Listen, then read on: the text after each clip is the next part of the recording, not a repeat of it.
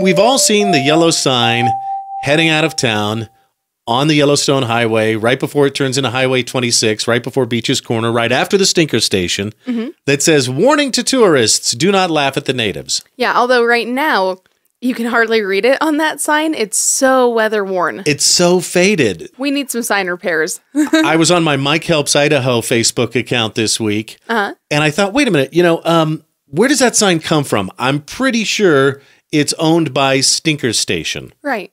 And I was correct. And come to find out, they had a ton of these, not just in Idaho, but other states. Okay, let's back up a step. Uh-huh. Have you ever heard of Burma Shave? Uh no. Okay. Burma Shave was some shaving cream that was popular post World War II. Okay. And they advertised with a series of road signs all in a row. Oh yeah, right when the Great American Highway became a thing. Exactly. Yeah. and everybody was in their cars and mm-hmm. taking the Great American Road Trip.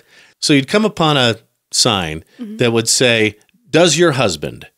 And then you know you'd take a beat. I don't know, quarter mile, Right. less, more.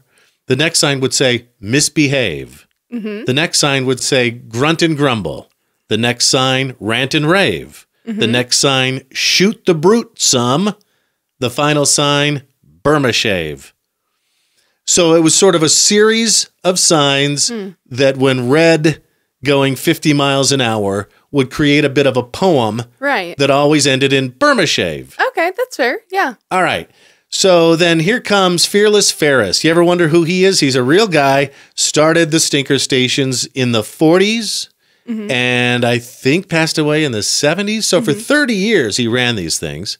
Built it up to like 150 gas station empire. I think they have Wow. 105 stores now mm-hmm. through Idaho, Nevada, and Wyoming, I want to say. But they were prominent all the way through southeast Idaho. And I think they were sort of signs designed to make the kids in the back seat ask mom or dad, what, is, what does that mean?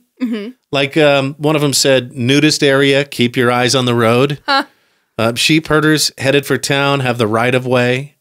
There was a sign in a field of boulders that said, petrified watermelons, take one home to your mother in law That's funny. grizzly bear feeding grounds, that kind of, and I'm putting them up on the video too. With a later start, you wouldn't be here yet.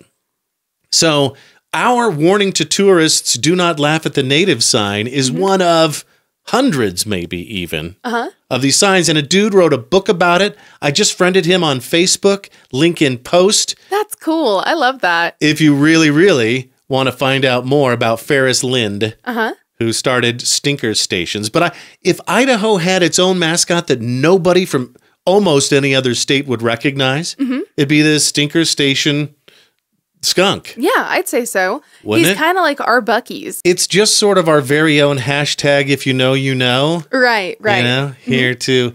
He started in Boise, and it just sort of spread. So, in particular, in between Boise and Idaho Falls in southern Idaho.